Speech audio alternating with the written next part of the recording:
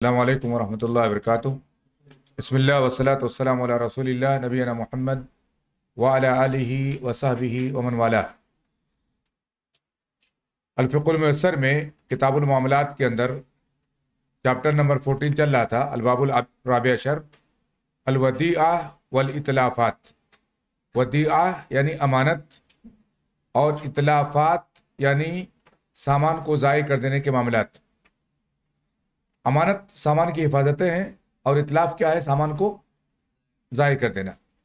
कहते हैं, वफ़ी ही मसाइल। इसमें चंद मसाइल थे और गुज्त दरस में, इसी चैप्टर में हम लोग मसले उला पढ़ चुके हैं। मसले उला में हमने पढ़ा था, वदियत किसे कहते हैं, उसकी मशरूत की दलीलें क्या हैं। और दूसरा मसला हमने पढ़ा था कि वदियत शर्त सही कब मानी जाएगी। वदियत सही कब मानी जाएगी? और कब वदियत सही नहीं मानी जाएगी? आप ले जाकर के अमानत किसी के हाथ में पकड़ा दें तो अमानत नहीं कहलाएगी। अमानत अगर आप पकड़ा रहे हैं, मोतबर लोगों के हाथ में तो क्या कहलाएगी? वो अमानत कहलाएगी। तो ये दो मसले हमारे सामने गुजर चुके थे। तीसरे मसले का भी कुछ पॉइंट हम पढ़ चुके थे। लेकिन आज हम नए सिरे से पूरा तीसरा मसला और इनशाला चौथा मसला जो इतलाफ के ताल्लुक से उसको इनशाला हम लोग लेंगे।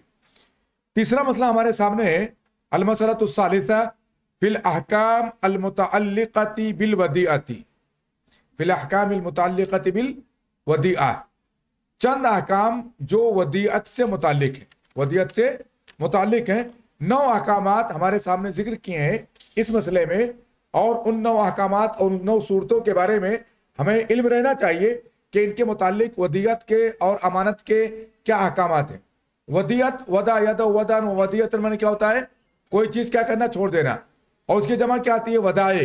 क्या आती है उसकी जमा? वदाए। वदिया माने अमाना वदाए माने अमानात। वदाए माने क्या होता है? अमानात। यहाँ पर देखेंगे अलवदी अतु अमानतुन फ़ी यदिल मुस्तौदा। वदियत जो है, सामान जो किसी के पास आपने रखा है, ये अमानत है किसके हाथ में? जिसके पास सामान रखा गया उसके हाथ में। मुस्तौदा कौन है? जिसके पास सामान रखा गया है। यानी अमीन आदमी।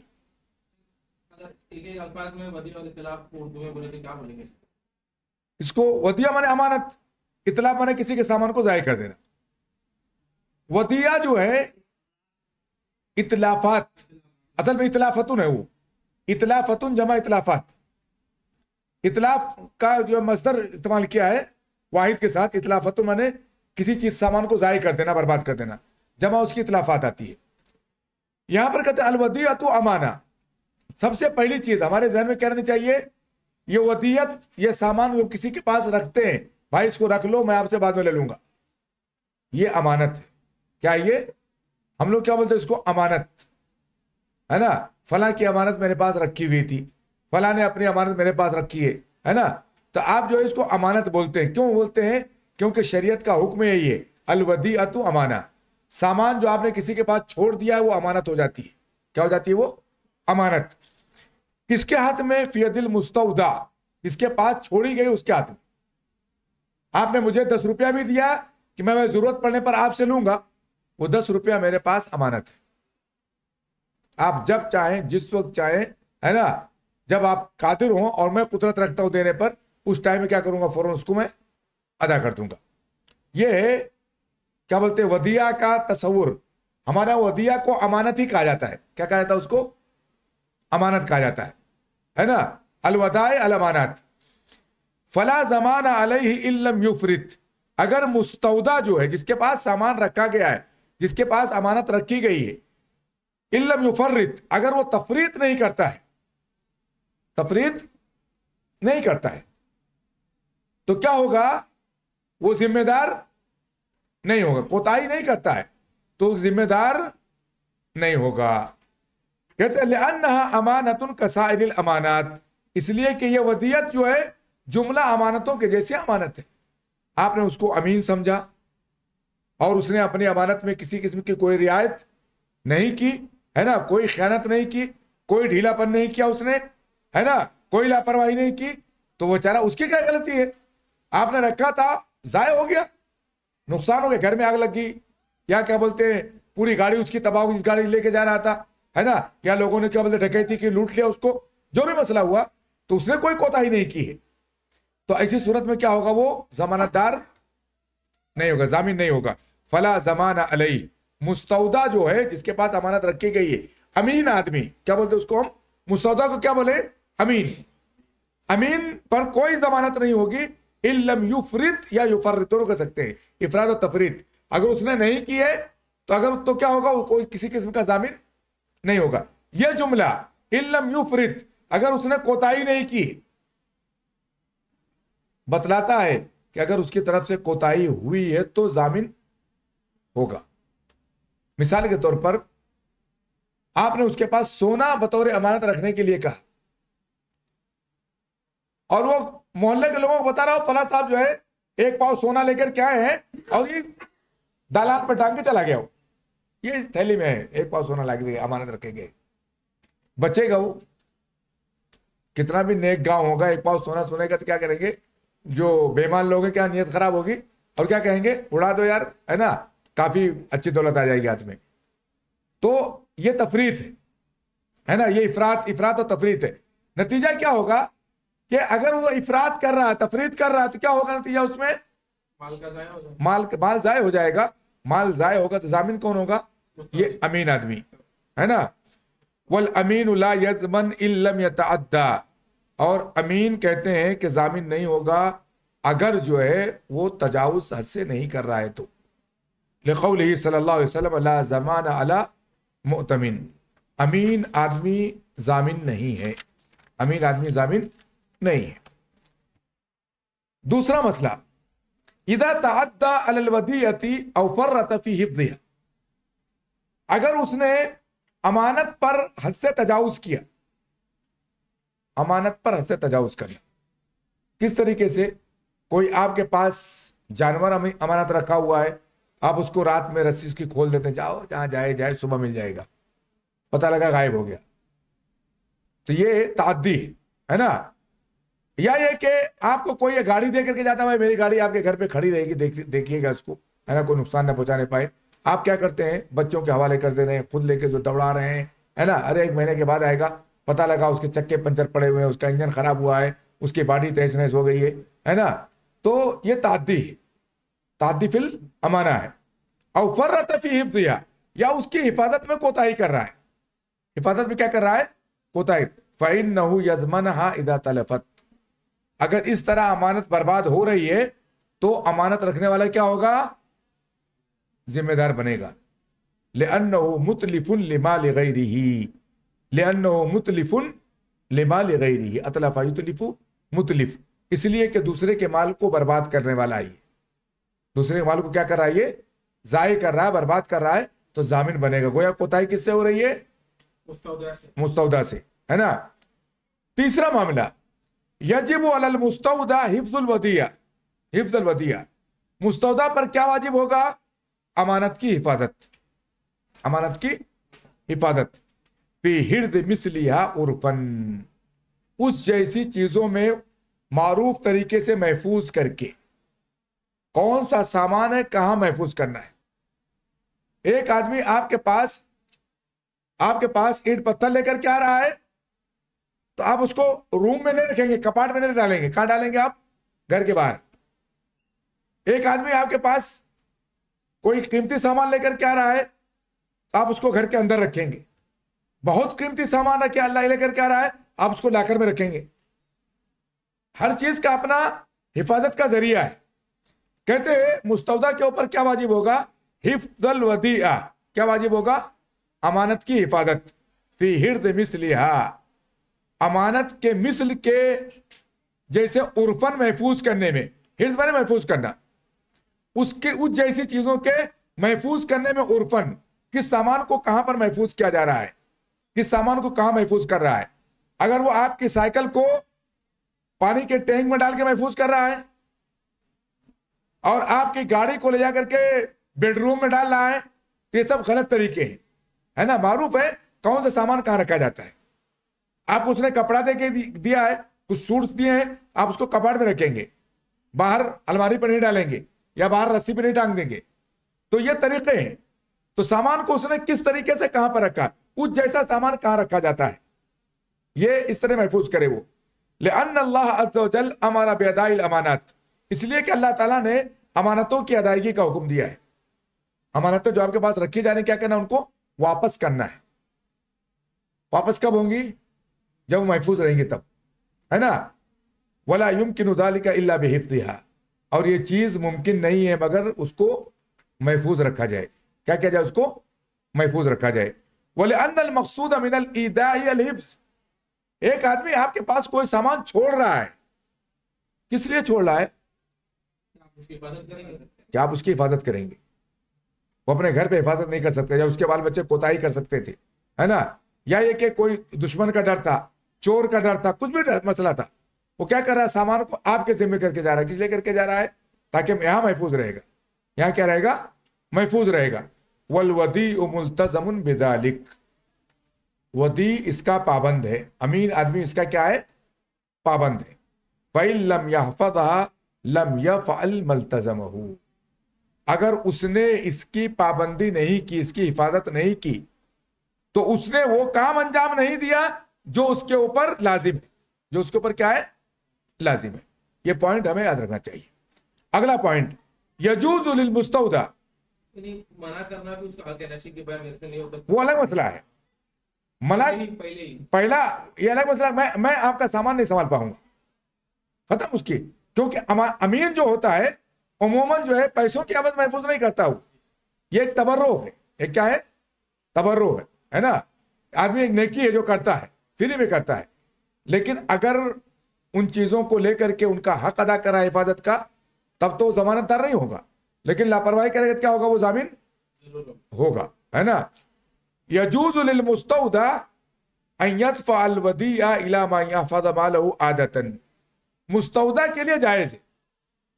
जिसके पास अमानत रखी जा रही है। मुस्तौदा मैंने कहा, अमीन आदमी। जिसके पास अमानत रखी जा रही है। उसके लिए जायज़ है। कि वो अमानत ऐसे लोगों को दे दे जो उसकी माल की हिफाजत करते। अरे भाई, आप जो है घर के बड़े जिम्मेदार हैं। आप अगर कोई अमानत आपकी दुकान में ला करके दे रहा है, आप दुकान में किसको देंगे? अपने नौकरों को। फला लाकर में बंद कराओ, फला जगह रखाओ, फला कर दो। है ना? कोई आदमी आपके घर में लाकर दे रहा है, किसको देंगे आप? अपनी बीवी को देंगे, अपने बच्चों को देंगे जो समझदार है। है ना? या खादिम लोग हैं, खादमाएँ हैं तो उनको देंगे आप। ये ले जाओ फला जगह रख करके चले जाओ तो आप सबसे छुपा नहीं सकते हैं। तो यहाँ पर कहते हैं कि मुस्तौदा के लिए जायज़ है। अमीन आदमी के लिए जायज़ है। ऐसा नहीं कहा जाएगा भाई मैंने अमानत आपको दी थी तो आपने अपने खादम को क्यों दिया? आपने अपने बीवी को रखने के लिए क्यों दिया? ये नहीं कह सकता है। आदमी क्या करता है? अपने मातहत से खिदमत लेता है। लेता है।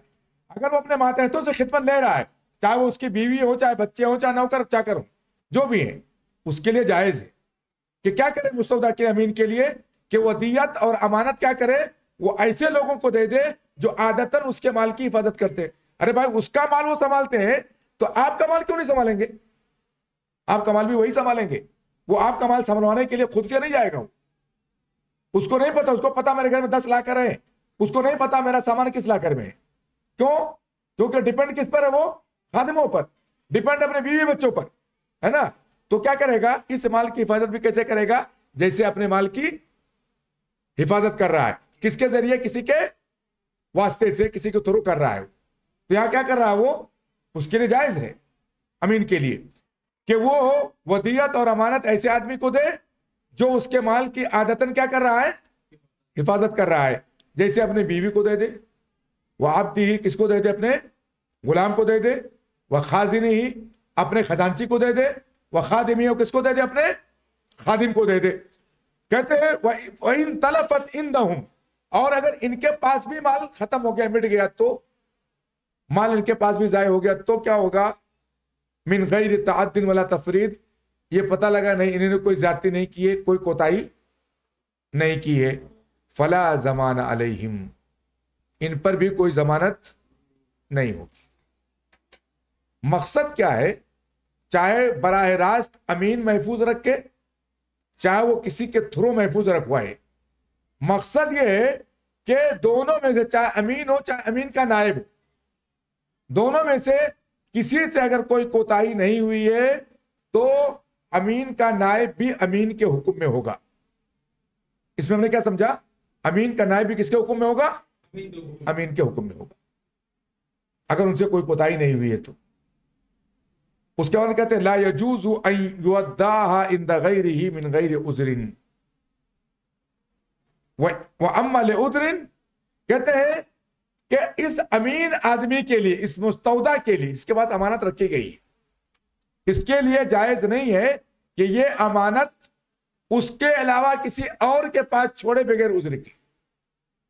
उस किसके अलावा? खादिम बीवी के अलावा, खाजिन के अलावा, किसी और तीसरे, तीसरी पार्टी को दे। बगैर उजर के जायज़ नहीं है। कहते हैं वो अम्माल उजरिन रहा मामला उजर का। रहा मामला किसका? उजर का। का सफरिन और हुजूर मौतिन फजाइस कहते हैं अमीन है। एक आदमी कौन है? जो अमानत रख रहा है। एक आदमी अमीन है मुस्तौदा है। मुस्तौदा अगर कोताही कर रहा है तो जमानतदार होगा। कोताही नहीं कर रहा है तो जामिन नहीं होगा। नहीं होगा। ऐसे ही हुक्म उन लोगों का है जो मुस्तौदा के मातहत काम कर रहे हैं। अगर उनसे कोताही नहीं हो तो जामिन नहीं होंगे। अब ये तीसरी पार्टी को दे दे ये अमीन आदमी जायज़ नहीं है। जायज़ नहीं है। इल्ला के शरई उजरो इल्ला के क्या शरई उजरो पहला उज्र क्या ज़िक्र क्या है? सफ़र का उज्र। क्या है? सफ़र का उज्र। कहते हैं या मौत का उज्र। थर्ड आदमी। है ना? वह अलह ही तो इसके ऊपर वाजिब होगा। किसके ऊपर? जो आदमी सफ़र में है। या क्या है? मौत का खतरा महसूस कर रहा है कि शायद मैं बचूँगा नहीं, है ना? उसके पास अमानतें रखी हुई। फ़ैन अवदा इंदल गैर बेउजरिन फतलिफत लम यजमन। इन सूरतों में अगर बगैर उज्र के दूसरे के पास रख देता, उज्र के साथ दूसरे के पास रख देता है और वो अमानत जाय हो जाती है तो ये आदमी जामिन नहीं होगा। अरे भाई, सबसे बड़ी अमानत क्या है? आदमी की अपनी ज़िंदगी है। उसकी ज़िंदगी ही महफूज नहीं है। ना? तो वो आपके माल का क्या जामिन बनेगा वो? जिसके ज़रिए आपके माल की हिफाजत कर रहा था, वही उससे खत्म हो गई है। है ना? या कहते हैं वही का ना बेगैर उजरिन जमीना। लेकिन अगर बगैर उज्र के तो क्या होगा? जामिन होगा। उज्र उसके पास तो जामिन नहीं होगा। अगर बगैर उज्र के थर्ड पार्टी को उसने दे दिया था और थर्ड पार्टी ने इनकार कर दिया जाय कर दिया, है ना? जाय होने की बात कही दी तो क्या होगा? ये जामिन होगा। क्यों जामिन होगा? लितादी ही व तफरीती ही क्योंकि वे जाति कर रहा है अमानत में और कोताही कर रहा है। जाति कर रहा क्या कर रहा है वो?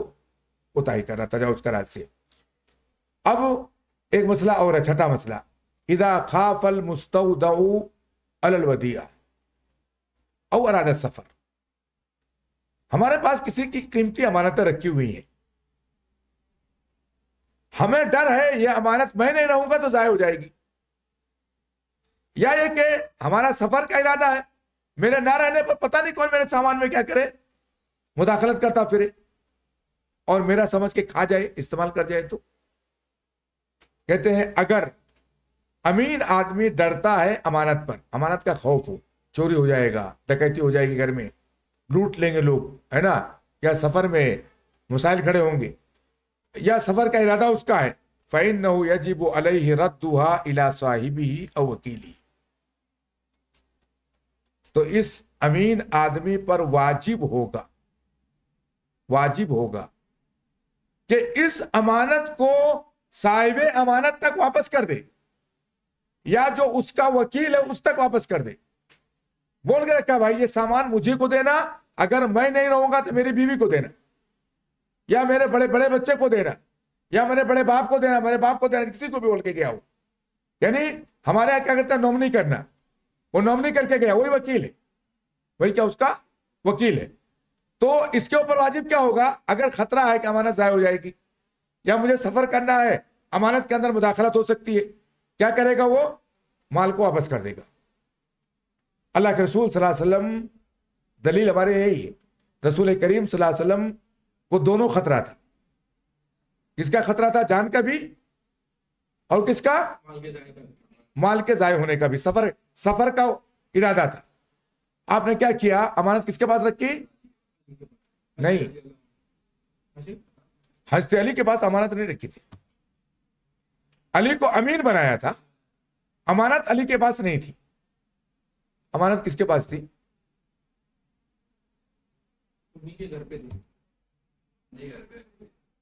उम्म ऐमन रज़ी अल्लाह तला के पास थी। किसके पास थी? उम्म ऐमन रज़ी अल्लाह तला के पास थी। अल्लाह के रसूल को देखो यकीन किस पर था? एक खातून पर। अमानत के मामले में। अमानत उनके पास थी उम्म ऐमन के पास। उम्म ऐमन कौन थी?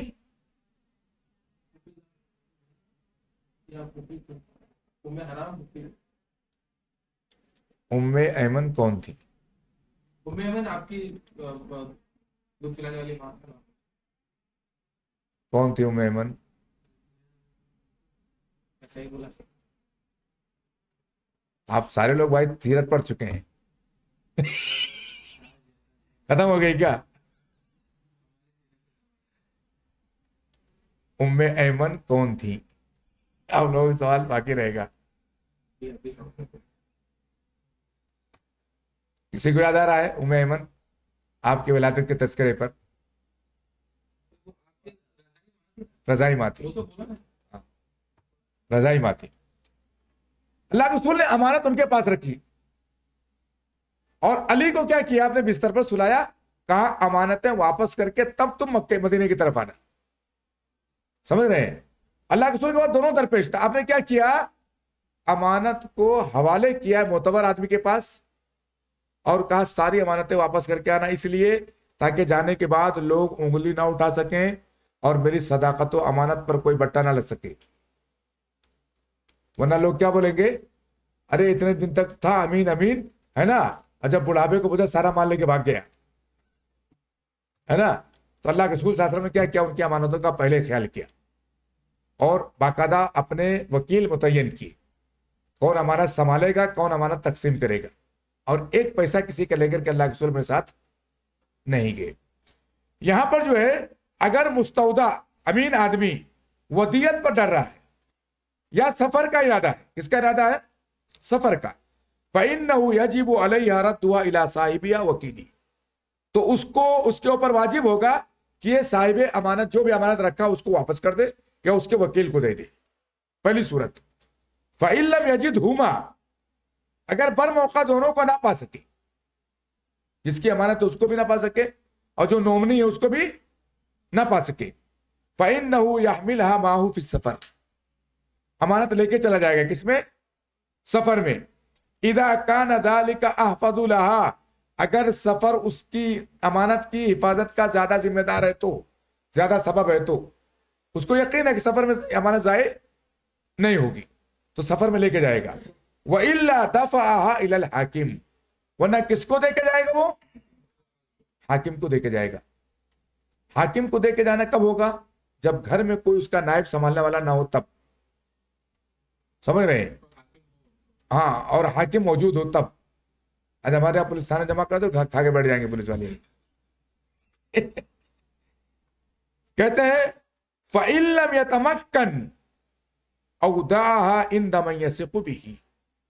अगर इस पर भी कुदरत ना हो उसको मतलब सफ़र कर रहा है सफ़र में भी खतरा है और वो क्या कर रहा है हाकिम के पास भी नहीं दे सकता या कोई हाकिम वहाँ मौजूद नहीं है या हाकिम तक रसाई आसान नहीं है जो भी मसला है क्या करेगा अमानत ऐसे आदमी के पास देगा जिस पर भरोसा उसको है जैसे अल्लाह के ने किसको दिया उम्मे ऐमन को कहते हैं, वह अमरा अली कहते हैं। लेन नबी सल्लल्लाहु कबल हिजरती इलल मदीनती औ दाल वदाइल इसलिए अल्लाह के रसूल ने हिजरत से पहले पहले सारी अमानतें किसको दे दी? उम्मे ऐमन को रज़ी अल्लाह वह अमरा अयरुद्दहा अहलिहा। और अली को हुक्म दिया कि तुम क्या करोगे? ये सारी अमानतें, अमानत, जिनकी अमानत उन तक क्या करोगे? लौटा दोगे। वह कदाली का ऐसे ही मसला है। इदा मरिदल मुस्तौदाउ मर्दन मुखवफन कि जब अमीन आदमी क्या हो जाए, किसी खौफ ज़्यादा मर्ज में क्या हो जाए, मुबतला हो जाए। अटैक आ गया है। डॉक्टरों ने कहा, अगर इसको अब फिर अटैक आ गया, या कंडीशन ऐसी बरकरार रही तो मर जाएगा। है ना? शदीद मरज हो गया है। इसके बारे में शिफायाबी की उम्मीद नहीं होती है। वह इन दहू वदाए, उसके पास अमानतें हूँ। उसके पास क्या हो? अमानतें हूँ। फ़ैन नहू यजिब रद्दुआ इलासाबिया अब अमानतें रख करके मरने से बेहतर क्या है? अमानतें वापस करके मरो। है ना? वरना मरने के बाद क्या होगा? बच्चे झगड़ेंगे। बोले, मेरे बाप की परापट्टी थी। समझ रहे ना? क्योंकि अमानतें उमूमन जो होती हैं, वो लिखी हुई नहीं होती अमानतें उमूमन क्या होती लिखी हुई नहीं होती है। वो नजा का सबब बन जाएगी। तो बेहतर है क्या करे वो? मरने से पहले पहले सारी अमानतों से क्या करे? छुटकारा हासिल कर ले। फ़ैन रद्दुआसाबिया फ़ैलम यतमक्कन। और अगर सबको देने पर कुदरत नहीं रखता है तो अवदा हाकिम। किसको देगा वो? हाकिम वक्त को। और इन दमैया को भी या उसको देगा जिस पर क्या उसको? दोनों सूरतों में। सफ़र की सूरत में और किस सूरत में? क्या बोलते हैं? मौत की सूरत में, खौफ की सूरत में। मसला नंबर सात। इदा कानत वदीअतु दाबतन। अगर किसी ने अमानत में आपके पास चौपाया रख दिया है, घोड़ा है, बकरी है, भैंस है, गाय है है ना? देहातों में लोग रखते हैं। अरे भाई, आप आप घर में दो भैंस पाल के रखे हुए हैं, है ना? पता लगा किसी करीबी क्या मैयत हो गई है, पूरा खानदान चले जा रहा है। अब जानवर तो ऐसा नहीं है कि चार टाइम वो खूंटे में से बंधा रहेगा। बाइक और गाड़ी तो नहीं है काम खड़ी कर दिया स्टैंड पे ताला लगा दिया तो खड़ी हो। उसको खिला उसको उसको खिलाना पिलाना पड़ेगा है ना? आप खूंटे में बाँध के जा नहीं सकते हैं। तो किसी के हवाले करके जाना पड़ेगा आपको। तो यहाँ पर कहते हैं कि अगर वदियत और अमानत चौपाई की शक्ल में है किसकी शक्ल में है? चौपाई की।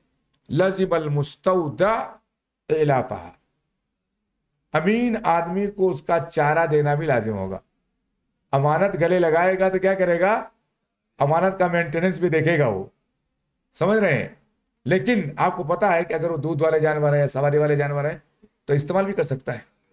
क्योंकि वो उसके खाने पीने, खिलाने पिलाने क्या वो जिम्मेदार है। वो तगजियत या उसके गजा का जिम्मेदार होगा। इन अहमल व तलीफत। अगर इसने लापरवाही की और ये मर गया, जाय हो गया। ज़मीन भैंस मरी तो गई। गई भैंस पानी में। समझ रहे हैं? वयासम बिहादल एहमाल हरमती है। और इस एहमाल पर गुनहगार भी होगा शरी तौर पर। सिर्फ़ यह नहीं कि भैंस देकर छुट्टी पा जाएगा वो। उस एहमाल पर गुनहगार भी होगा क्योंकि उसकी हुरमत का हुक्म दिया गया, उसके एहतराम का। ज़ीरो है वो। हम उसको भूखे मार डाले, प्यासे मार डाले, है ना? हम शरान क्या होंगे? गुनहगार होंगे। एक जानिया औरत को अल्लाह ने क्या किया? एक कुत्ते को पानी पिलाने की वजह से क्या किया? जन्नत में डाल दिया। और एक अच्छी खासी औरत को बिल्ली मारने की वजह से क्या किया? जहन्नम में डाल दिया। ये जो है, कहते कहते हैं कि यासम बिहादल रहमान वो शरई तौर पर गुनहगार भी होगा। जुर्माना तो होगा उसके ऊपर, दुनियावी तौर पर। शरी तौर पर क्या होगा वो? गुनहगार भी होगा। इस एहमाल और लापरवाही की वजह से हरमतिया क्योंकि उसके हरमत में, उसके एहतराम में क्या क्या उसने? लापरवाही की। हम लोग क्या बोलते हैं? बेजबान है ये। जानवरों को क्या बोलते हैं हम लोग? बेजबान है। वो बोलते नहीं, है ना? मुझे पानी चाहिए, मुझे चारा दे दो। है ना? नहीं बोलते। वो थोड़ा आवाज़ निकालेंगे, थोड़ा चीखेंगे, चिल्लाएँगे। अगर आप समझते हैं, दर्द रखते हैं तो समझ जाए। नहीं तो चीखने दे आप, है ना? तो एहतराम में क्या होगी? कमी की वजह से गुनहगार भी होगा। कहते हैं वाले अन्न कुल्लू कभी दिन रत बिन फ़ी या अजर। इसलिए कि हर तर कलेजे में अल्लाह ने क्या रखा है? अजर रखा है। हर तर कलेजे में अल्लाह ने क्या रखा है? अजर रखा है। अगर कोई भी जी रूह आप उसकी जान बचा ले जाते हैं, उसको खिला पिला देते हैं तो अल्लाह ताला क्या करता है आपको? अजर से नवाजता है। क्या कुछ सवाल है क्या? हाँ बोले। कुछ लोग जो फिक्स डिपॉजिट में अपना घर देने को घर लेने देने को जायज़ समझते हैं।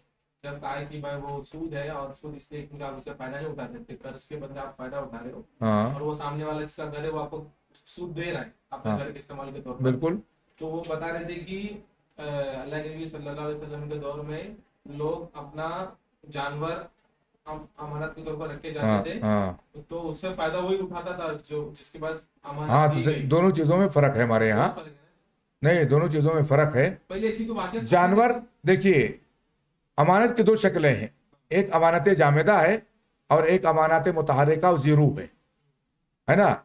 अमानत जामेदा में किसी किस्म के तसरुफ का हमको इख्तियार नहीं है।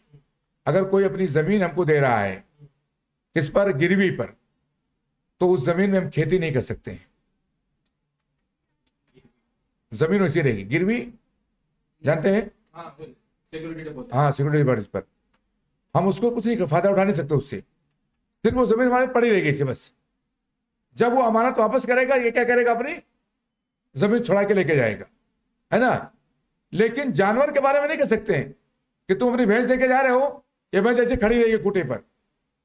है ना? तो आप मेरा सामान लेके आओगे भैंस लेके जाओगे जिस हालत में रहे। वो चाहे पाँच कुंटल की भैंस पचास किलो की हो गई हो है ना? तो ऐसा नहीं होगा। ये जीरू जीरू है। ज़ीरो में जब हम खिदमत कर रहे हैं तो उसके आर्जी फवायद के मुस्तक बनेंगे। क्यों बन रहे हैं? हम फ़ायदा दे रहे हैं फ़ायदा ले रहे हैं। एक तरफा फ़ायदा नहीं है। अरे भाई वो वो भैंस अगर उसके पास रहते तो क्या करता? वो चारा देता। का खर्चा होता। खर्चा होता उसका।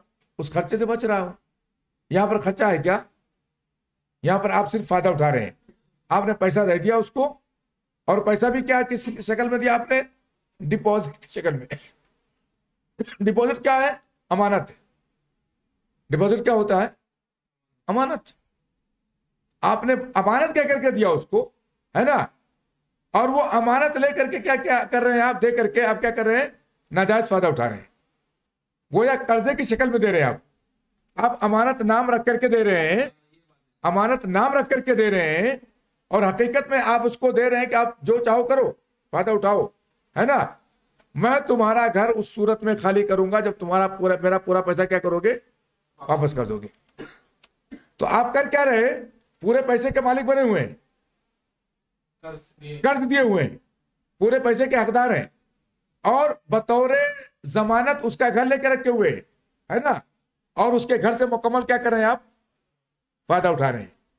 कुल्लु कर्जिन जर्रा नफान फहुआ रिबा हर कर्ज जो नफा लेकर के आए क्या है वो वो रिबा है ऐसे बैंकों के बारे में भी अभी बात नवे पॉइंट पर आ रही है देखेंगे सही यही कि नहीं उठाना चाहिए है हाँ हाँ हाँ तो हमारे देखिए दो शक्लें उसकी बनती है। जैसे आपके पास शर्त है कि एक महीना पहले इन्फॉर्म करने पर आपको ज़मीन खाली करनी होगी। वैसे उसके पास भी ऑप्शन है कि एक महीना पहले खबर करने पर मैं अपनी पूरी अमानत लेकर के आपकी ज़मीन आपके हवाले करके चले जाऊँगा मैं। यही तो होता है तरफेन से। ऐसी सूरत में अगर आप अहल हैं इस बात के कि हमारे पास दो चार लाख रुपया कोई माना नहीं रखता है। कोई माना नहीं रखता है। तो ऐसी सूरत में आप इस्तेमाल करें कोई दिक्कत की बात नहीं है। क्योंकि उसका चार लाख रुपया हमेशा आपके पास पड़ा हुआ है। है ना?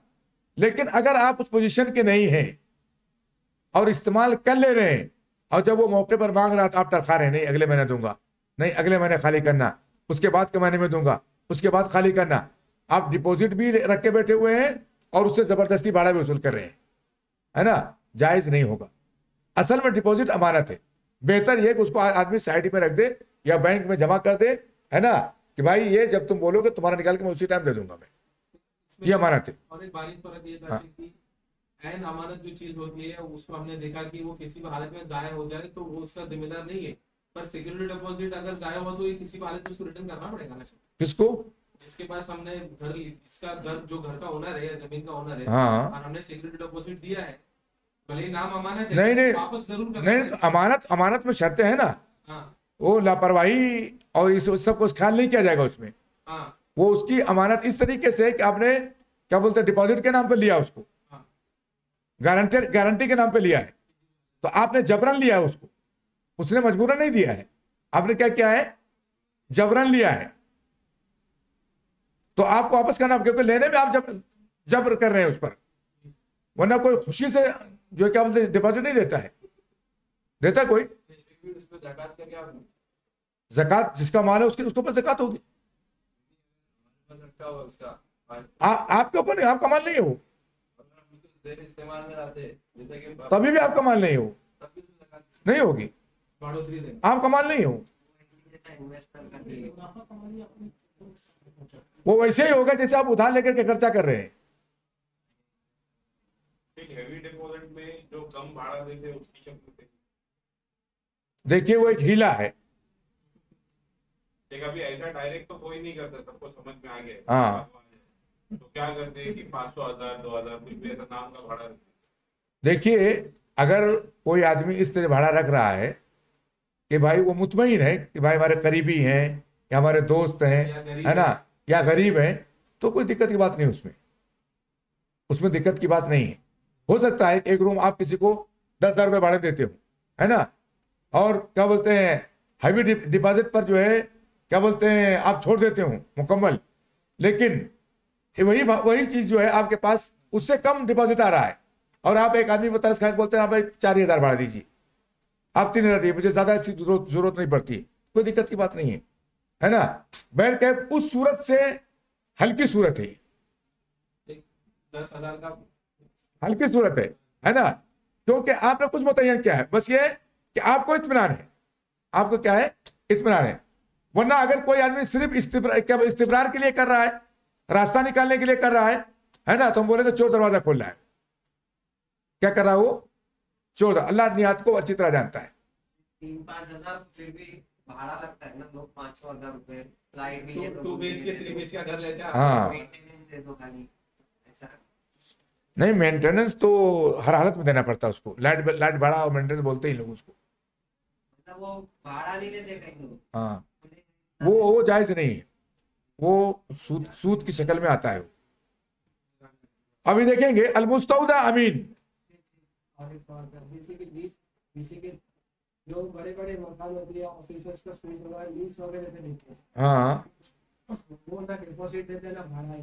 है हैं हाँ हैं हैं जगह है वो जगह के हिसाब से आप अमाउंट तय करते तो अमाउंट पूरा एक साथ साथ में ले लेते हैं।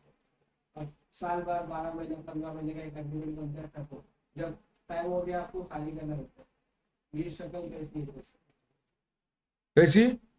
ठीक है नहीं नॉर्मली भाड़ा महीना महीना देते ना चेक हाँ। दो साल पाँच साल का एक साथ भाड़ा दे दिए पूरा बड़ा हाँ। अमाउंट एक करोड़ दे हाँ, दिए हाँ। पाँच साल हमारा विदाउट सिक्योरिटी डिपॉजिट हाँ हाँ। बड़ा अमाउंट पहले ही दे दिए। हाँ हाँ। और इस्तेमाल कर रहे हैं। और पाँच साल के बाद खाली करेंगे इसको वापस कुछ मिलने नहीं वाला डिपॉजिट जो दिया नहीं तो लेगा क्या वो? तो हाँ नहीं तो कोई दिक्कत नहीं है। सही है वो। सौ साल का रिलीज़ बनता है है ना? हाँ हाँ हो गया वो। अलमुस्तौदा अमीन। जिसके पास अमानत रखी गई है वो अमानतदार है पढ़ चुके पहले। जब अमानतदार है तो क्या होगा? युकबल कौलू उसकी बात मानी जाएगी। उसकी बात मानी जाएगी, कबूल की जाएगी। इला साहिबिया अगर वो कहता है, भाई, मेरे पास तुम अमानत फिर लेने आए हो क्या? इससे पहले मैंने तुमको फला फला के सामने वापस कर दिया था। या मैंने तुम्हारी अमानत लौटा दी थी? किसकी बात मानी जाएगी? अमीन की, मुस्तौदा की। इसके बाद सामान रखा गया है। और मैं यकूम मकाम या जो उसका कायम मकाम है अमीन का, मुस्तौदा का, उसकी बात मानी जाएगी। नहीं, ये तो अपनी अमानत ले जा चुके हैं। वयुक बल कौल ही इसका कौल कबूल होगा किसके साथ? उसकी कसम के साथ। क्या ये मुद्दा ही एक मुद्दा आलय है? मुद्दा आलय है, मामला माल तो दूसरे का है।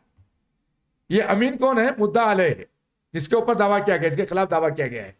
तो अल अल, क्या कहा? अलबैना तो अलामनिद्दा वल यमीन अलामन अनकर। जो दावा कर रहा है, वो सबूत पेश करे। और जो इनकार कर रहा है, क्या करेगा वो? कसम खाएगा। यहाँ पर कहते हैं, युकबल कौलुहु मा यमीनी। इस अमीन आदमी का कौल उसके कसम के साथ काबिल कबूल होगा। अरे भाई, हम अमानत रख रहे हैं उसके पास लोग अमानतें रख रहे हैं, मारूफ है। कभी खैरत नहीं किया है। एक आदमी आके बोला, भाई, मेरा माल वापस करो। बोला, भाई, आप माल ले जा चुके भाई साहब कितना मरते वापस कराओगे? है ना? बोला, नहीं आपने नहीं दिया है। तो क्या करेगा? कसम खा लेगा कि मैंने आपको दे दिया है। और उसका कौल क्या होगा? काबिल कबूल होगा। इधर दा तलिफत मिन तअत्तिन वला तफरीद। वयुकबल कौलहु मा यमीनी और उसका कौल उसकी कसम के साथ काबिल कबूल होगा वह कबूल किया जाएगा जब वो दावा करता है अन्नहा तलिफत कि माल जाय हो चुका है माल क्या हो चुका है जाय हो चुका है बगैर ताद्दी के बगैर कोताही के बोला मैं जाय हो चुका नहीं दे पाऊँगा है ना वाल मुस्तौदा अल्लाह युआखिर वदिया एक पॉइंट और इसमें क्या है अमीन आदमी के लिए के ऊपर वाजिब है कि अमानत की अदायगी में ताखिर ना करे, टाल मटोल ना करे। वरना क्या समझा जाएगा कि यह आदमी अमानतों से खिलवाड़ करता है?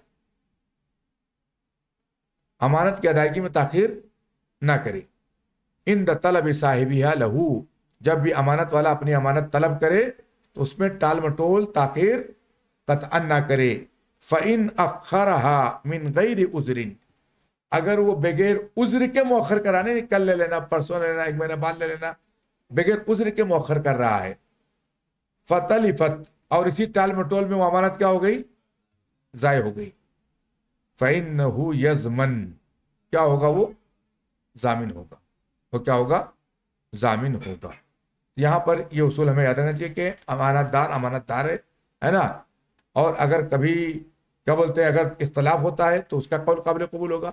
अगर वो जिया की बात करता है और कहता है बगैर कोताही के, बगैर लापरवाही के जाय हुआ है है ना तो उसकी की बात मानी जाएगी कसम के साथ, है ना? और आखिरी बात जो हमारे यहाँ कही है कि अमानत अमानत है, साहिब अमानत जब भी अपनी अमानत वापस मांगे, फौरी तौर पर देना वाजिब है। टाल मटोल नहीं करना चाहिए। अगर टाल मटोल करता गया करता गया और इस बीच में अमानत जाय हो गई तो जिम्मेदार बनेगा। क्या होगा? वो जिम्मेदार बनेगा। आखिरी बात जो हमारे यहाँ अमानतें बैंकों में रखी जाती हैं। हम सब की अमानतें कहाँ रहती हैं? बैंकों में। हालात मुल्क के वैसे हैं कि आदमी एक बड़ी रकम घर में रख नहीं सकता है है ना? मिन सुअरदिया अमानत की हमारी जो है नई शक्लें, सुअर अल मुआसरा हम कह सकते हैं कि हमारी हम हम आहंगे ज़माना, है ना? जो ज़माने से मिलती जुलती हैं, है ना? मेल खाती शक्लें। अलवदाय अलमसरफिया, बैंक की अमानतें हैं। मसरफ किसे कहते हैं? बैंक। बैंक बैंक की अमानतें हैं, जो बैंक में रखी जाती हैं। चाहे आप लाकर में रखते हो, चाहे आप जो है डिपॉजिट करते हो, है ना? वही अमायकुम बिल अफराद मिन ईदाई मबालिग नकदिया फ़ी अलबुनूक। कहते हैं, ये वो है जो अफराद आज करते हैं कि अपने मबलग को, अपने रुपए पैसों को कहाँ डाल देते हैं? बैंकों में। नकदी रुपए पैसे को कहाँ डालते हैं? बैंक में। इला अजलिन मुहद्दत और मुतलकन। एक मुकर्रा वक्त तक डाल देते हैं या तो कब तक डालते हैं? मुतलक। आपने अकाउंट खुला लिया, ज़िंदगी भर आपका अकाउंट चलते रहता है। या आप फिक्स डिपॉजिट कर देते हैं, पाँच साल के लिए, तीन साल के लिए, दस साल के लिए, है ना? उसके बाद आपको निकालना पड़ता है उसको। अफराद। जो लोग करते हैं आज, मीन ईदाइन है ना? अमानतें जमा करके है ना? अमानतें कौन सी? मबालिक नकदिया। नकदी नकदी रुपए पैसे। कैश कहाँ पर? फिल बुनूक। कहाँ पर? बैंकों में जमा करके। इलाजल मुहद्दत चाहे वो लिमिटेड हो और क्या हो? और मुतलकन या क्या हो? जनरल हो एकदम। कहते वो यकूमुल बैंक भी तसरुफ बैंक क्या करता है? उन रुपयों पैसों में तसरुफ करते रहता है। ऐसा नहीं करता है। कि आपका डब्बा अलग रखा हुआ है, आपने जमा किया, लो। दूसरे दिन निकाला, आपको आपका पैसा इतना, लो, डब्बा बंद। ऐसा नहीं करता है। वो आपको आपका पैसा देता है, आपका डिजिट डाउन करता है। आप पैसा जमा कर डिजिट आपका बढ़ा देता है, बस। सारे केस क्या करता है वो? लोन दे रहा है। गाड़ी वालों को लोन दे रहा है, घर वालों को लोन दे रहा है, तालीम वालों को लोन दे रहा है, सियासी लोगों को लोन दे रहा है, फला के लिए लोन दे रहा है है ना? और उसकी क्या बोलते हैं, पर क्या बन रही है। कॉलोनियाँ बन रही हैं ये बन रहा है वो बन रहा है बिल्डरों को दे रहा है सब में शरीक है। है ना? कमा खूब रहे हैं। पब्लिक को क्या है? तसल्ली दे रहे हैं। आपको जो है ना सालाना आठ परसेंट सूद मिलेगा। आपको पाँच परसेंट सूद मिलेगा। अरे भाई सूद ही देना, देना है। आप बोल दो भाई आप जमा करो हमारे यहाँ है ना? हम आपका माल जो है एक साल तक वापस नहीं करेंगे। आप जमा करो। एक साल के बाद हिसाब किताब होगा। हम जो तामीराती काम में लगाते हैं जो होगा उतने इतना परसेंट में आप शरीक रहेंगे। है ना? हलाल हो जाएगा वो। लेकिन नहीं करते। वो क्यों? क्योंकि पैसा लाने के जितने तरीके हैं, सबको वो जानते हैं। जे जायज़ तरीके हैं, बिल्डिंगें बन रही है, कॉलोनियाँ खरीदी जा रही जमीनें खरीदी जा रही हैं, है ना? फला हो रहा ढका हो रहा है। लेकिन ये नाजायज तरीके हैं। लोन दिया जा रहा है, किसको सूदी लोन दिया जा रहा है? किसके लिए? तालीम के नाम पर, घर के नाम पर, गाड़ी के नाम पर, फला के नाम पर, फला के नाम पर। वैसे ही बैठे बैठाए आपको फ़ोन आएगा। भाई, आपका अमाउंट तो काफ़ी अच्छा आता है बैंक में। आप दो लाख, तीन लाख कर्जा ले सकते हैं बोले।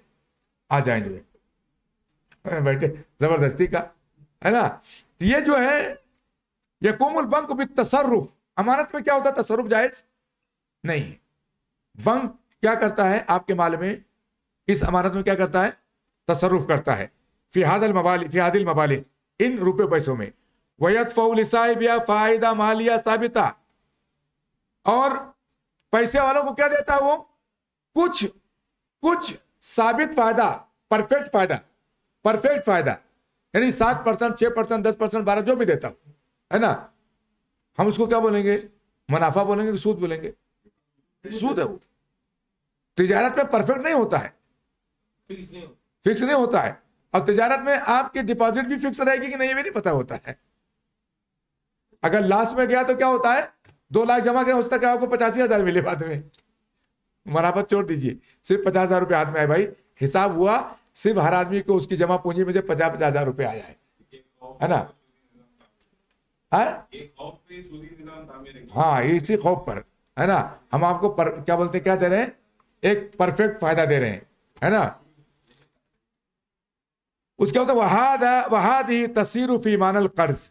ऐसी सूरत में अगर आप अमानत रख रहे हैं और अमानत इस्तेमाल करने की इजाज़त दे रहे हैं, या वो मालूम है कि वो इस्तेमाल करेंगे, ये किस माने में हो जाएगा? कर्ज के माने में। किस माने में हो जाएगा? कर्ज। मिन हैसु तमल्लुकुल बई बैंक रियाइनिया इस तरीके से कि बैंक उसके पूरे का क्या रहता है, मालिक रहता है।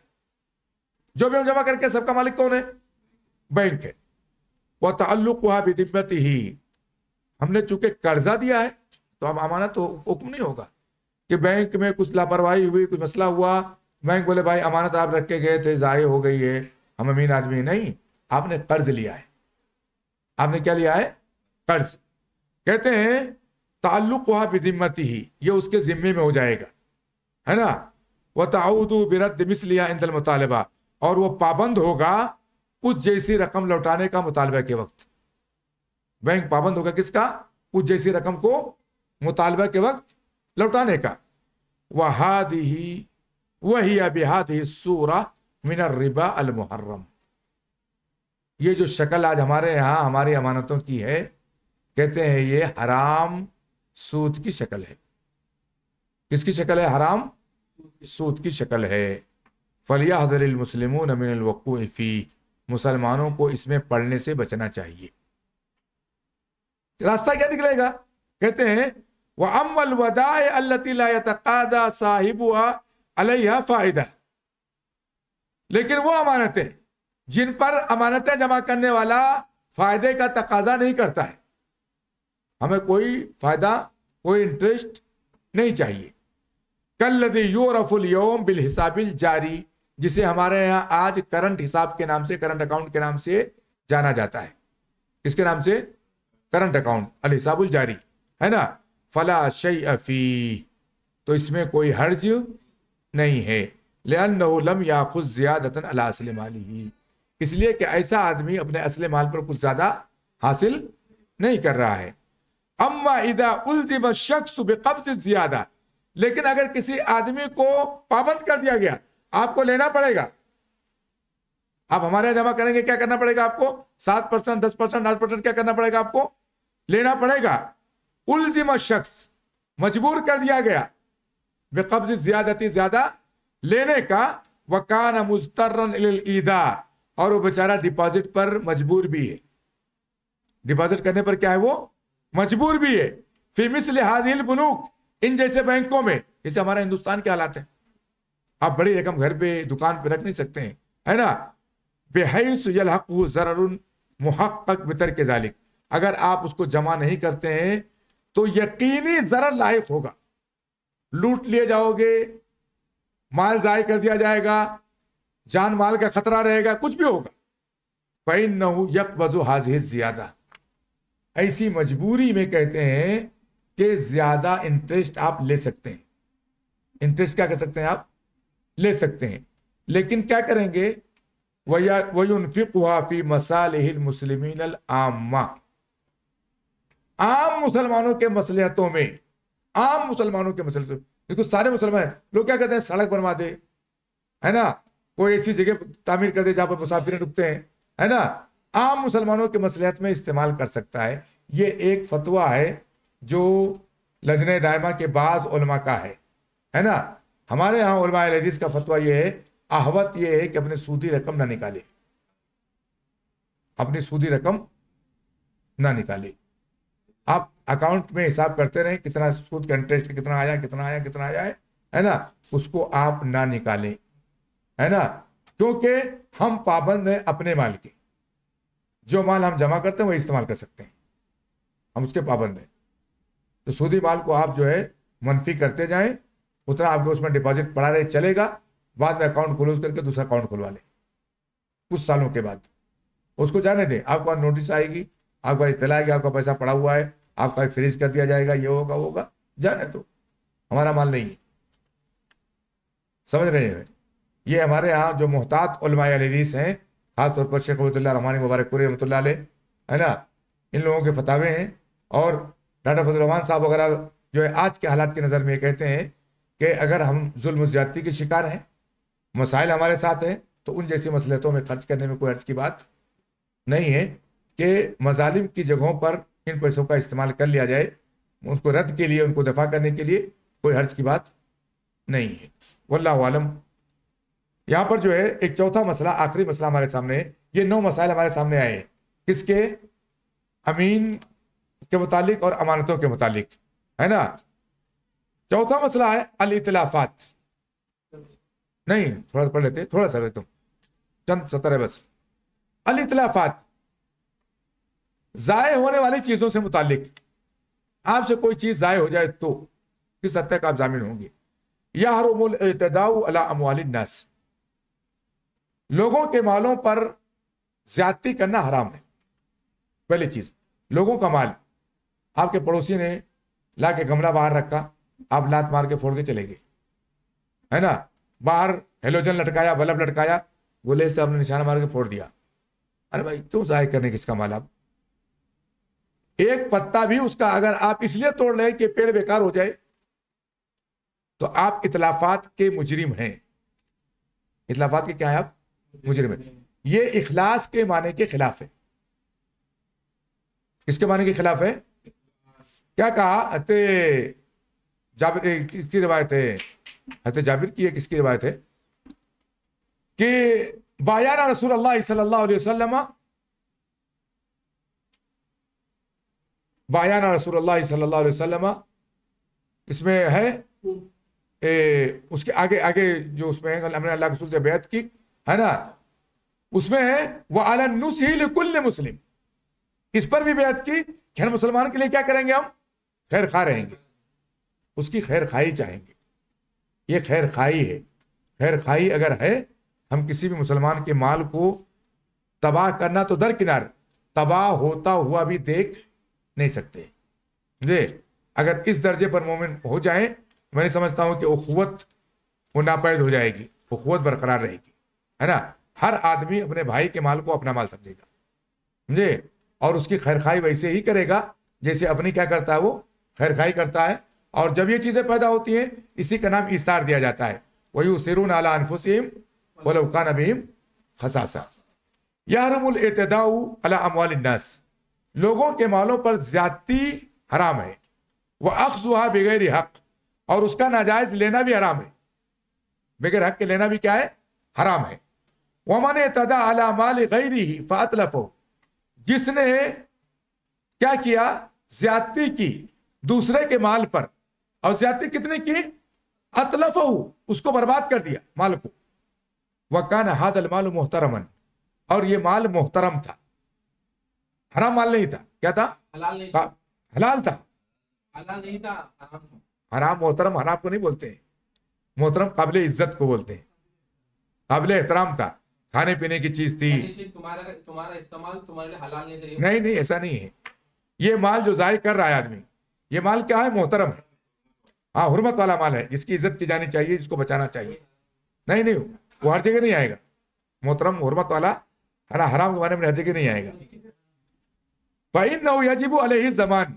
अगर किसी ने किसी का मोहतरम मोहतरम माल क्या? हमारे घर की कटोरी किसी ने जाय कर दिया। है ना? बाहर फूल लगा था, किसी ने तबाह कर दिया। कहते हैं, यजीबु अलैहि जमान। हमारी गाड़ी खड़ी थी, किसी ने क्या किया? उसका पाइप तोड़ दिया, लाइट तोड़ दी, सीट फाड़ दिया। जो भी है ना? होता है भाई, माशरे में इसी की लापरवाही का नतीजा है हम ये तालीम जानते ही नहीं। क्या है? आदमी नई गाड़ी लेकर के आया पड़ोसी बोला नई गाड़ी चलाएगा ये। बिलेट लेकर के आया छुपा करके। है ना? मारा पूरी सीट पे चौपुली बना दिया उस पर। बच्चों को दे दिए ये एक से एक तरीके सब है। कुछ नहीं पाते क्या करते हैं? आपकी सीट पर थूकी देंगे। कम से कम साफ़ करते रहो। पता नहीं रा- राफिजी जहनीत के रहते हैं या किस जहनीत के कि सुन्नियों को तकलीफ़ हो जाओ सवाब मिलेगा। अल्लाह बेहतर जाने। यहाँ पर जो है फाइन नो यजीबू अलही जमान। अगर कोई ऐसा करता तो क्या होगा? उसके ऊपर जमानत क्या होगी? वाजिब होगी, लाजिम होगी। वह कदाली का मन तसब फ़ी इतलाफ माल गैरी ऐसे ही उस पर भी जमानत लाजिम होगी, जो दूसरों के माल के इतलाफ का सबब बनता है। बच्चों से कराने से आप बरी नहीं हो जाएँगे। जुर्म में क्या होंगे? आप भी शरीक होंगे। किसी मोमिन को कत्ल करने पर या कत्ल करवाने पर सुपारी देने पर आप बरी नहीं होंगे। आप भी क्या होंगे? कत्ल के मुजरिम होंगे। है ना? बेहल कई दिन चाहे आप किसी के कैद को से आज़ाद कर दें। किसी का जानवर बेचारा बंधा हुआ था है ना? रात में जाकर के आप रस्सी खोल दिए। जाने दो फ़र्क क्या पड़ता है? भाग जाए तभी बेहतर है। है ना? आप आप आप जाय नहीं कर रहे हैं लेकिन जाय करने के क्या बन रहे हैं आप? सब रहे और बिफत बाबिन है ना? या घर है, बच्चे छोटे छोटे घर के अंदर है माँ ने बाहर से दरवाज़ा बंद कर दिया है चंद मिनट के लिए कुछ सामान लाने गई। क्यों सामान लाने, क्यों गई क्यों गई बंद करके? घर के सामने कुआँ है, छोटे बच्चे निकलेंगे उसका कुएँ में कूद जाए आप खोल के चले जा रहे हैं, खोल के चले जा रहे हैं, इसलिए, है ना? अच्छा कूद के मर जाए बच्चे इसके, है ना? तो क्या होगा? आप आप कुएँ में डाल डाल नहीं रहे? सबब बन रहे। हैं जुर्म किसका लगेगा? कत्ल ही का लगेगा। किसका लगेगा? कत्ल का। क्योंकि आप सबब बन रहे। हैं अब फतेह और नाम दाली के जैसे कुछ और चीज़ कर सकते हैं। कोई आदमी कर सकता है भाई है ना? एक आदमी किसी को जहर दे के मार रहा है। एक आदमी ना समझ के हाथ में जहर दे दे रहा है मिठाई की शक्ल में। है ना? खिला तो नहीं रहा है लेकिन दे रहा है। मकसद देने क्या है? ये बच्चा है मिठाई समझ के खा लेगा मर जाएगा। तो क्या बनेगा? सबब बनना भी मुजरिम बनना है। समझ रहे हैं? वहीदा कान लहू मवाशिन और अगर किसी के पास चौपाए हों वजब अलैहि हिफ्जुहा फिल लैल। हमारे चौपाए हैं तो उसकी हिफाजत रात में हमारे ऊपर क्या है? वाजिब है। दिन में चौपाए बाहर रहते हैं। कहाँ रहते हैं? मराई में चरने की जगहों पर है ना? चर, चरागाहों में। लेकिन रात में वो जब हमारे बाड़े में आते हैं तो आज़ाद छोड़ना जुर्म है। आज़ाद छोड़ेंगे क्या करेंगे? किसी के घर में घुस जाएँगे। है ना? किसी का, क्या बोलते हैं, दरवाज़ा उखाड़ेंगे। कहीं जाके कुएँ में कूदेंगे। किसी को सामान खराब करेंगे, किसी खेती चरेंगे। यही सब तो होगा। कहते हैं, अगर किसी के पास चौपाए हैं तो उसके ऊपर वाजिब क्या है? हिफ्जुहा फिल रात में चौपायों की क्या करे? बाँध करके रखे उनको। है ना? घारी के अंदर, मखसूस जगहों के अंदर, रस्सियों के अंदर, बाड़ों के अंदर उनको क्या करें? महफूज करके रखे। मिन इफसाद ज़रूर इन्नास और इफसाद अनफुसिहिम। ताकि लोगों की खेतियाँ ना तबाह करें ये। लोगों की जानों को तबाही का सबब ना बने।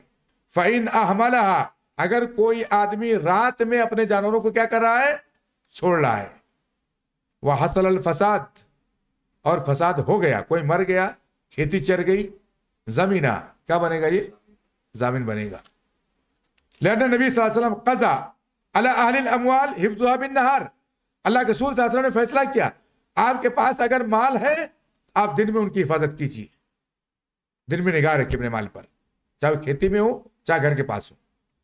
वो अहल मवाशी हिफ्ल अगर आपके पास चौपाए हैं तो रात में हिफाजत कीजिए उनकी, ताकि लोगों की खेतियाँ वो न चले वमा अब सदत बिल्ली अब अब अंदाज़ा कीजिए, अल्लाह के रसूल जो है, मदीने के अंदर अलुल मवाशी नहीं थी। लेकिन तालीमत ज़िंदगी का कौन सा गोशा है जो नबी की तालीम में मौजूद ना हो? समझे?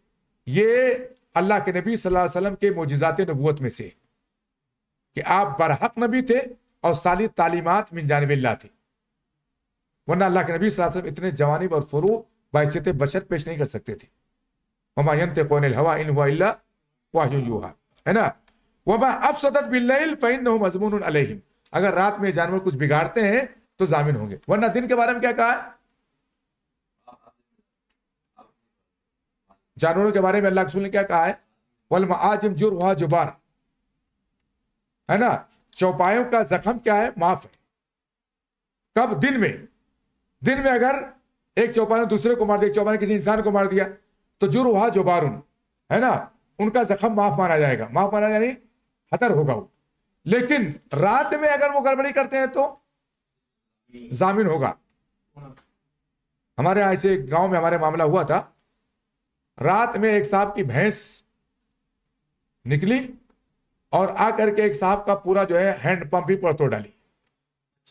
भैंस है, मार मार के मारा पूरा, जड़ से उखाड़ दिया पूरा हैंड पंप ही। हैंडल टूट गया नहीं, सब आ रहा था वो, चला थोड़ी पाएगी भैंस। पूरा उखाड़ डाला उसने। सुबह आए तो कुछ लोगों ने बताया कि उनकी भैंस ने आगे सब तमाशा किया है। हाँ। उनको भरना पड़ा पूरा। मालूम मालूम पड़ा ना लोगों लोगों ने बताया कि उनकी भैंस यहाँ से गई। है ना? उनकी भैंस ने तोड़ा। देखिए जामिन तो नहीं है है ना? लेकिन रात में फिर भी फौरी तौर तो पर उसका रोकना ज़रूरी है। वो छोड़ ला जाना तो सुबह देखेंगे कहाँ गई हुई है। है ना? असल जो पालतू जानवर तो भागते नहीं है वो। वो आसपास ही रहते हैं। है ना? तो कुछ लोग लापरवाही करते हैं। तो लोगों ने फैसला किया हमारे यहाँ। हमारे यहाँ लोगों ने फैसला किया कि हाँ आपको पूरा ये बनवा के देना पड़ेगा। वो बेचारे हैंडल लेके गए, वेल्डिंग करा के लेके आए, उसको लगवाए, मिस्त्री बुला के लेके आए, उसको नए सिरे से खुदवा करके, पाइप डलवा करके, फिर सही करवाए।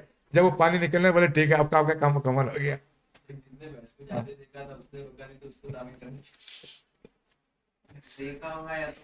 अब यहाँ पर जो है लिअन्न अमवाल मुहतरमा इसलिए कि मुसलमानों के माल भी और मुसलमानों की जाने भी काबिल एहतराम है काबिल एहतराम है फ़याहरुमुत्तअद्दी अलैहा उन पर जाति करना हराम है उन पर जाति करना क्या ये हराम है अभी तसब्बुब फ़ी इफसादिया और हलाकिया या उनके बिगाड़ने या उनके हलाकत में सबब बनना भी क्या नाजायज और हराम है वसाइलु इंसान अविल हैवान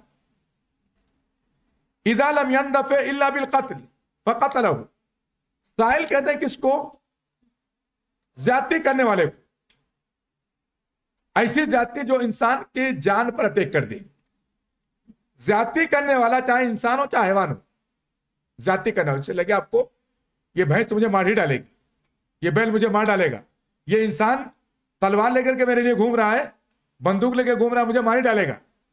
कहते हैं इदा लमियन दफे इल्ला बिल कत्ल। अगर वो रुकता नहीं है, सिवाय कत्ल के। उसको उस लोग मना कर रहे हैं। नहीं, वो नंगा हो गया एकदम जो है, मार के रहूँगा मैं।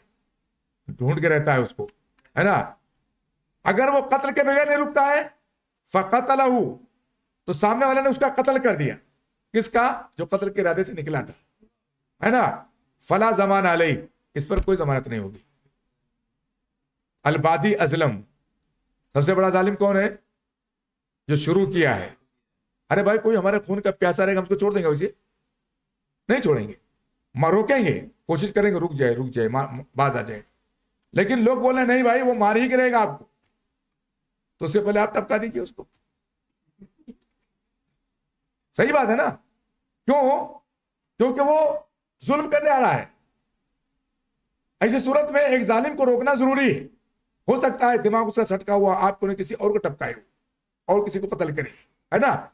ऐसे आदमी को अगर सामने वाला ने कत्ल कर दिया दिफान है ना? फला जमान अलई इस पर कोई जमानत नहीं है।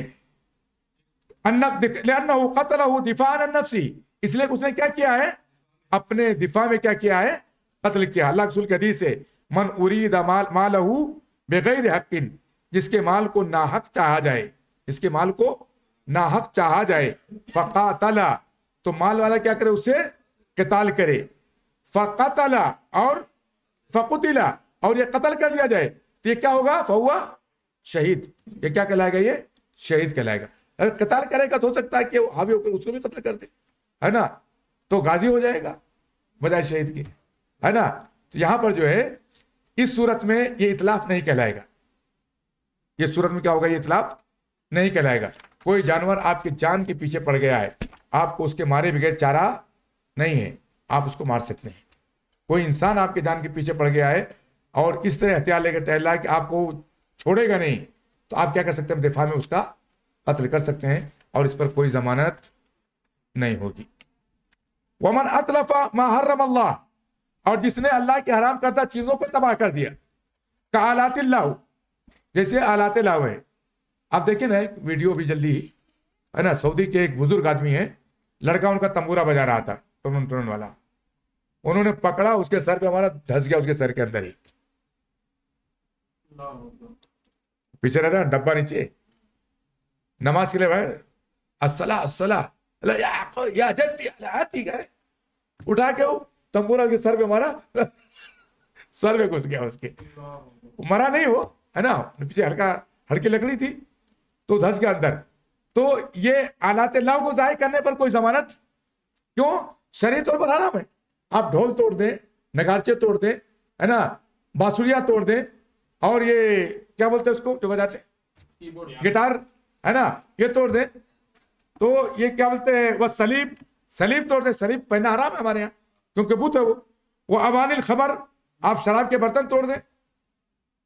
वह कुतुब जलाल वलबिदा जलाल तो गुमराही और बिदतों की किताबों को आप ज़ाहिर कर दें वह अशरता और कैसेटों को ज़ाहिर कर दें, सीडीज को ज़ाहिर कर दें आप वह महल वह मजल्लात मुजून और जो नंगी, क्या बोलते हैं, तस्वीरों के मजल्लात आते हैं, हमारे यहाँ मैगजीन, मैगजीनें आती हैं, उनको ज़ाहिर कर दें।